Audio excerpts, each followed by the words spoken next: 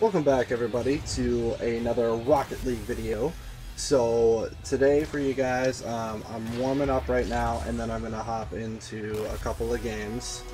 Um, I just wanted to get some gameplay, you know, uh, I've been having some fun. I played a handful of games with Andrew today. I uh, didn't record anything, I was streaming actually, so um, if you want to if you want to check out the streams, you can check me out at jm underscore 0070 on Twitch. I do go live on there uh, periodically. I played some PUBG and Rocket League today. But yeah, I go live on there from time to time. But uh, we played some games. I think we played five or six games. We lost one. Um, so, so far it's been a pretty good return to Rocket League after, eh, what was it, a week or two hiatus. Um, yeah, we're having some fun, so I'm gonna go ahead and queue us up. Uh, I'm gonna be playing some twos again, just because I want to get my twos into diamond. That way, if I play twos or threes, I'm playing at a diamond level. We hit that first goal, we hit that diamond season rewards, and man, am I stoked about that. Like, super fantastic. I'm very happy. Um, I've been playing this game for just a touch over a year at this point, and um, Andrew and I were actually talking about it when I first started. I think I got originally ranked at like bronze two or three, and to get to diamond in a year, I think that's an accomplishment. So um, if you're on the other side and you're you're trying to get up into these semi-high ranks, I'm not going to say high ranks because diamond is it's definitely a great rank uh, don't get me wrong, I'm super happy to be here. Um, but the MMR between me and uh, like Kronovi or SquishyMuffinz is well, there's a there's quite the difference between between us in MMR. So uh, I'll just kind of leave that where that is. But yeah, um, I think I'm I'm pretty proud of myself for getting here. And if you guys are, you know, trying to get there, just keep practicing. I can't. There's no. There's a couple of things. There we go. That was nice. That was nice. Um, there's a couple of things that you can do, like you can watch tutorials and things like that that are definitely going to help. But at the end of the day, the the thing that's gonna make or break it is just how much time did you put into it. And if you put the time in, I promise you'll get better. And if you're in the gold rank and you're just kind of pushing for platinum, I I've got to say just keep your head up because gold is gold is a tough rank to be in. I've I've just got to say, gold is a Nice move. Nice move.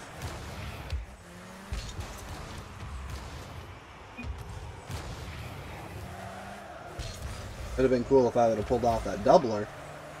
But, um, the gold is an extremely tough rank to come out of. There's so many players. It's so saturated.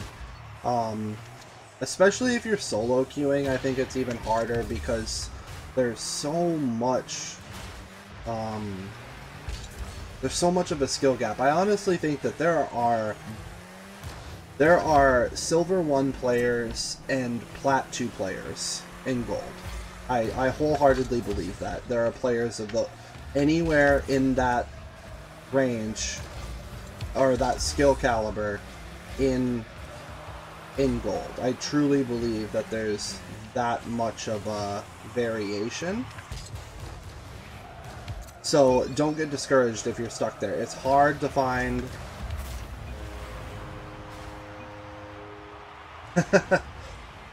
no worries, dude. No worries.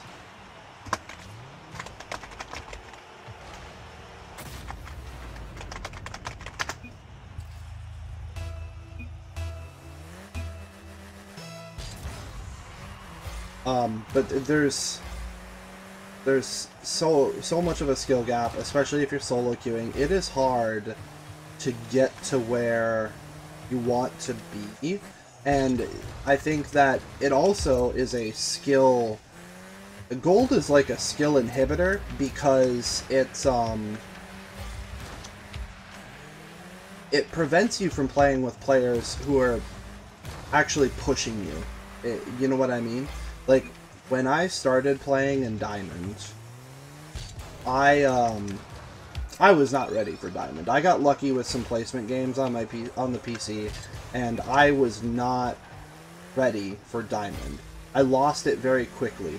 But what I can say is that playing playing those handful of games gave me an idea of what it's like to truly play in that skill, in that skill range. So I had an idea, how fast do I actually need to be? How do I, how do I actually play the game at this skill level? And, I mean, that wasn't very, uh, that wasn't very diamond-like, but it just, it's definitely good to be playing against competition that is better than you you will get better much faster. So, moral of the story is, um, gold, for all those reasons, is such a tough, tough rank. And I, I actually have a friend of mine who's looking to get on the PC with Andrew and I, and he loves Rocket League. He's a, um, he loves to play it, plays uh, a fair amount on the Xbox, there we go. But he's been stuck in gold for a while, and he's worried that he might not be able to keep up in plat and everything. And I don't think it's I don't think that's the case at all. To be hundred percent honest, I think he'll be able to keep up. It's going to take him a little bit of time, but that's kind of what sparked this I, this conversation. This idea is that um, he was worried about quote unquote keeping up with us in Diamond. And um, that's just what I attribute it to. I was stuck in gold for three seasons, it feels like. And I, it was just because I didn't. You've got to break that barrier first. Once you break that barrier and get out of gold the first time, if you're if you're ready, you won't go back, in my opinion. Um, you won't go back because you've separated yourself from that crowd. Now, maybe I'm totally wrong. Awesome. GG.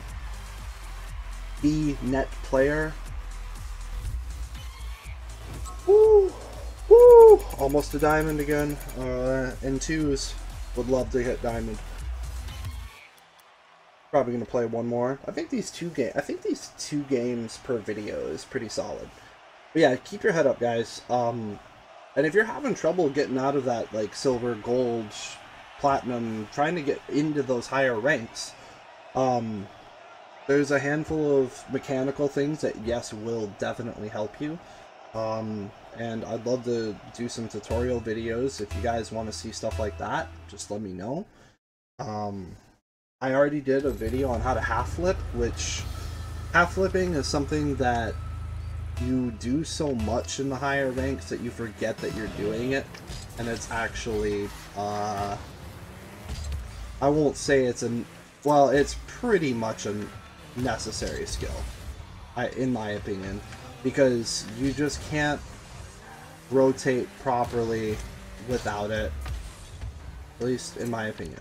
So, that's a skill definitely you want to have. Having good air control so that you can at least contest the ball properly.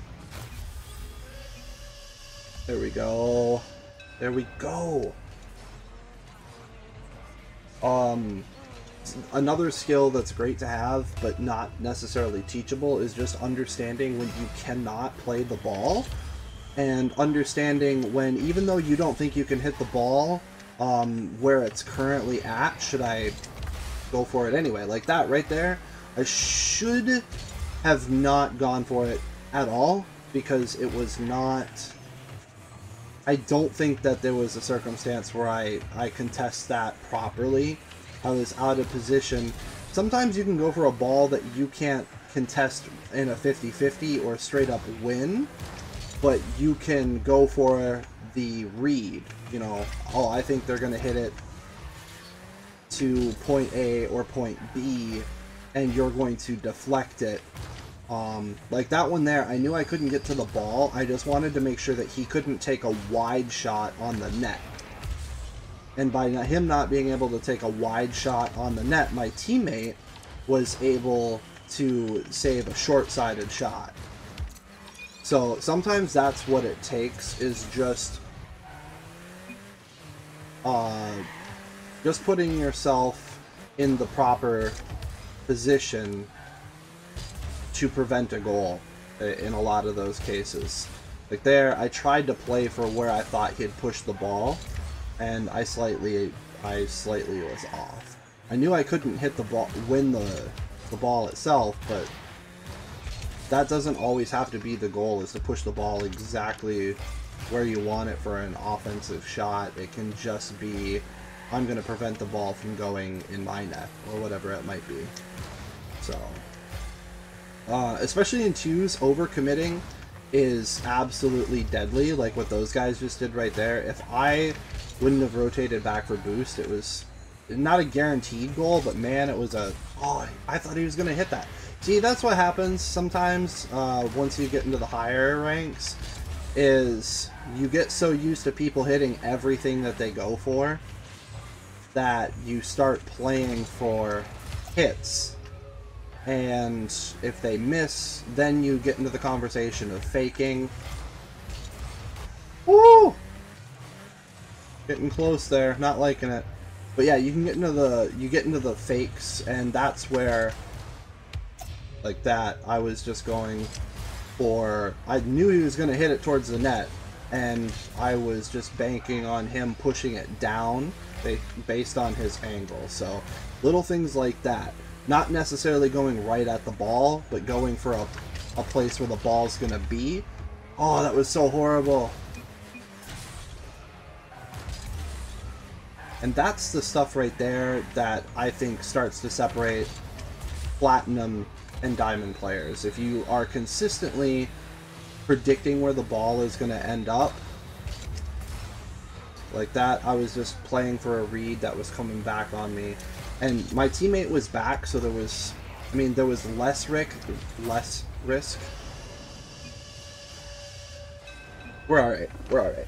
There was less risk because I thought that he would be able to, to make a, a good play on it. They won a 50-50, it happens. So you can go all in on some of those. Uh, you got to be selective in twos because if you're all in, you might be all losing.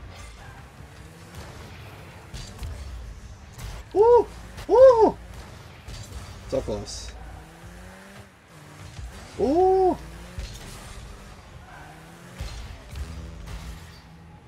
And little touches, they matter. Whether they don't matter or whether they matter, they matter.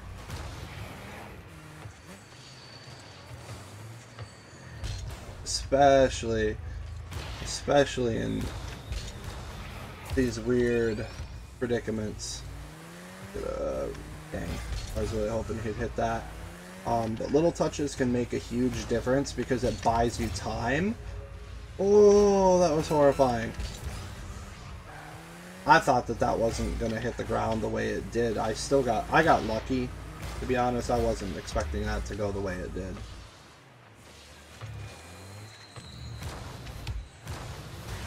Ah! Got in my way. No! No! Oh! Get it out of there. Let's just play some OT, okay? Yeah, let's play some OT. We're fine. We got this.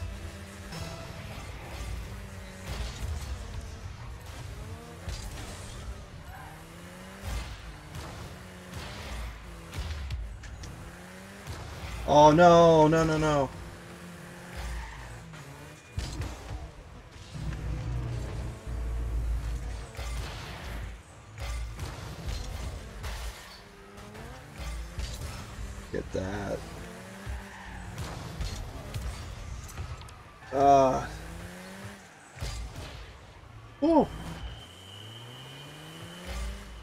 Those little hops right there, if you can make those happen fast, they're deadly.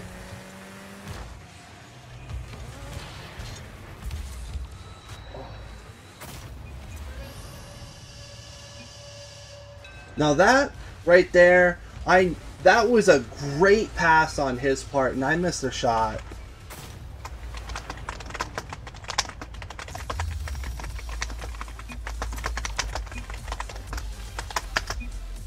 That was an awesome pass. He did exactly what I wanted him to do. I just didn't get there quite in time to to, to sink it, but he, he did a good job following it up. Yeah, GG's. That was a good game. So, a couple of victories today. Uh, just probably three, four games out of Diamond. Uh, I had a lot of fun. Um, I like having teammates who are casual, ready to go, but still competitive in a way, but not down your throat if you make a mistake. So, yeah, no, uh, great set of games today. I I've been playing pretty well, so I'm I'm very happy with the way that I've been playing. Um, I'm glad that while I was playing this set of games, I had zero lag issues.